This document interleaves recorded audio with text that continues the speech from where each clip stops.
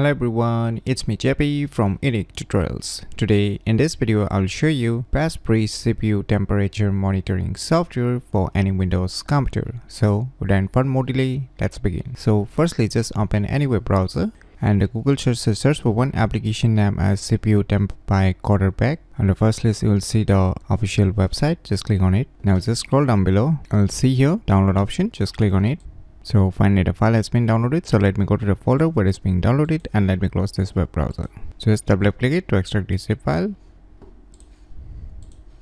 This is open the extracted folder. Now just double click on it to run this software installer. Click on next, click on accept, click on next, click on next, click on install.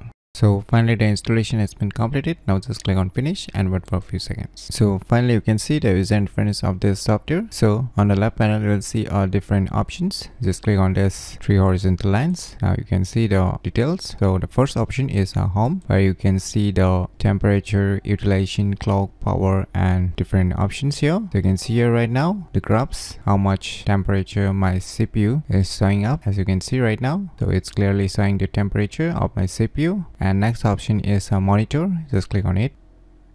Now under the monitor it will show you the different temperatures the minimum maximum average temperatures the clock speeds power consumptions. As you can see here different options here. So you can check out by yourself all the details showing up inside this monitor options. And next is the charts under the charts it will show you the CPU temperature, CPU load distribution and the CPU clock distributions here. And next option is the memory so here it will show you the memory in use available. So it will show you the details regarding the memory here. And the last option is the settings under the settings, you can change or set the different temperature level for the different temperature mode. So these are the options you're gonna get inside these applications. So in my opinion, it's one of the best free CPU temperature monitoring software for any Windows computer that you should definitely give it a try. So if you find this video tutorial useful, please click on the thumbs like button and if you're new to our channel, click on the subscribe button and lastly, thanks for watching.